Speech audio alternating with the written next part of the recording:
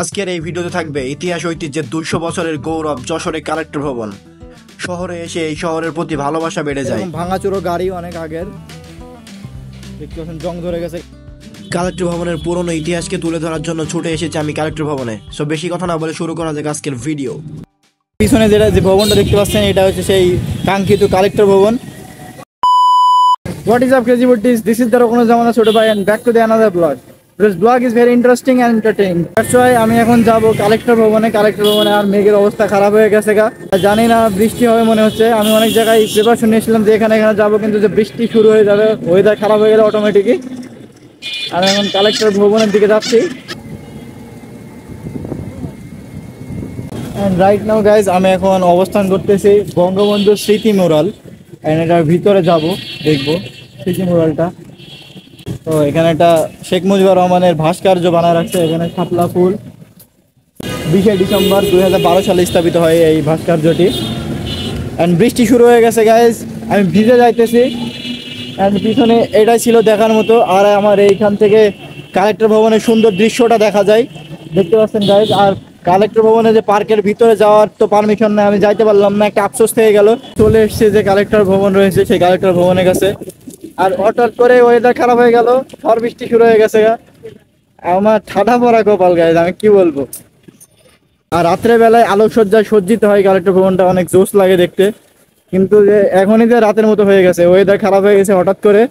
Finally guys আমার পিছনে যেটা যে ভবনটা দেখতে পাচ্ছেন, এটা হচ্ছে সেই কাঙ্ক্ষিত কালেক্টর ভবন কালেক্টর ভবনের অনেক স্টোরি রয়েছে, সেগুলো আপনাদের বিস্তারিত বলব এবং চারিপাশটা আপনাদের ঘুরায় দেখাচ্ছি কালেক্টর ভবনের তো চলুন একটু সিনেমেটিক শটে আপনার দেখাই। লেটস গো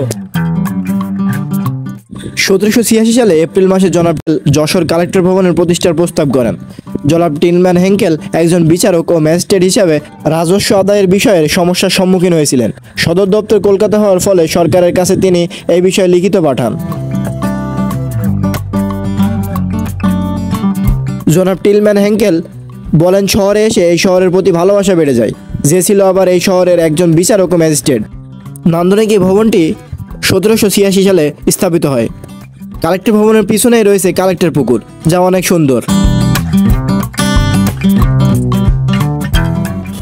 দুঃখের বিষয় যে পিছনে যে ভবনে যে পার্কটা রয়েছে, এখানে ঢোকা নিষেধ, আমি ঢুকতে পারলাম না। তো এটার ভিতরে ঢোকার অনেক শখ ছিল, অনেকদিন ধরেই শুনতেছি বন্ধ হয়ে গেছে। এটা হচ্ছে সব থেকে কষ্টকর ব্যাপার যে এক জায়গায় আসার পরে সেখানে ঢুকতে না পারা। এই কষ্টটা আপনারা বুঝতেন না গাইজ আর ঝড় শুরু হয়ে গেছে, এখন বৈশাখ মাস চলতে যেহেতু সেই জন্য ঝড় হচ্ছে মনে হচ্ছে। আর আমি যে, যখনই যেখানে যাই সেখানেই একটা ঠাডা পড়ে, হয়তো বৃষ্টি হয়, নয়তো ঝড় শুরু হয়ে যায়, এখন ঝড় শুরু হয়ে গেছে, একটু পরে বৃষ্টি নামবে, তারপরে আমার পুরোটা মাটি হয়ে যাবে। তো আমি এখন কালেক্টর ভবনে যে পুকুরটা রয়েছে, সেই পুকুরটার কাছে যাব পুকুরটা আপনাদের দেখাবো। সো লেটস গো বাতাসে এই পিছনে একটা কৃষ্ণচূড়া ফুল গাছ রয়েছে। ফুলগুলো ঝরে পড়তেছে, অসাধারণ লাগতেছে গাইজ এই যে পিছনে দেখুন কৃষ্ণচূড়া গাছটা। অনেক জোস এটা হচ্ছে সেই কাঙ্ক্ষিত কালেক্টর ভবনের যে কালেক্টর পুকুরটি। পুকুরে এখন পদ্ম ফুল ফুটে রয়েছে। অনেক জোস পারে অনেক মানুষ বসে আছে, দেখতে পাচ্ছেন।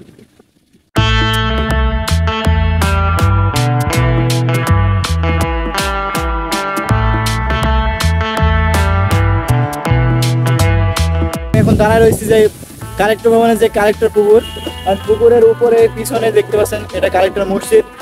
মসজিদটা অনেক আগে তৈরি করা হয়েছে। And এখানে অনেক অনেক মানুষ আছে। আজকে ওয়েদারটা খারাপ বলে এখন মানুষ কম আছে। একটু করে যখন ওয়েদারটা ভালো হবে, পাঁচটা বাজবে, তখন মানুষজন জড়ো হবে। আর রাত্রের দিকে এই যে এই কালেক্টর ভবনটি আলোকসজ্জায় সজ্জিত হয়, অনেক সুন্দর লাগে দেখতে।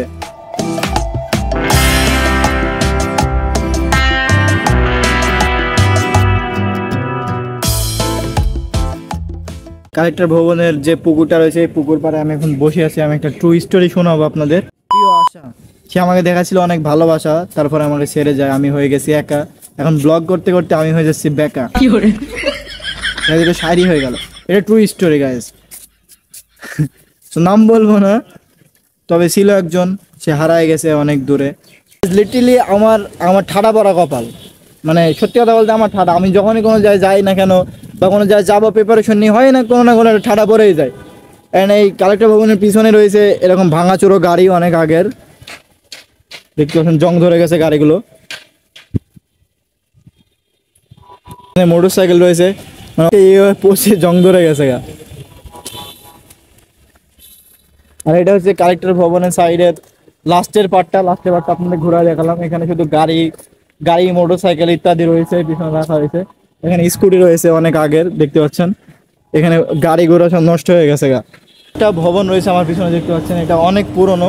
এটা পরিত্যক্ত করে দিয়েছে মেবি এখন বন্ধ করে দিয়েছে এটা ভিতরে কোনো কাজ কাম হয় না। এখানে দেখতে পাচ্ছেন চিফ জুডিয়াল ম্যাজিস্ট্রেট আদালত। অনেক অনেক উঁচু গাইজ আদালতটা অনেক জোস। আর এই পিছনে হয়েছে একটা কালেক্টর ভবনে যে পুরাতন, যে পরিত্যক্ত বাড়িটা এই পিছনে রয়েছে। আর সামনেই রয়েছে চিফ জুডিয়াল যে আদালত, সেইটা। অ্যান্ড এর পাশে রয়েছে কালেক্টর ভবনে যে ঈদগাহ ময়দান, সেই ঈদগাহটা আপনাদের দেখাবো।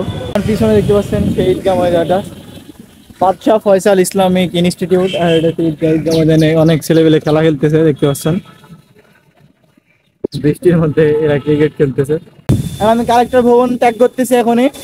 সো কালেক্টর ভবনটাকে দেখলে পারলেন। আর ভিডিওটা ভালো লাগলে অবশ্যই like comment share and subscribe করে দিন। সো দেখা হচ্ছে পরবর্তী কোনো ভিডিওতে। সে পর্যন্ত ভালো থাকুন। Okay bye love you too die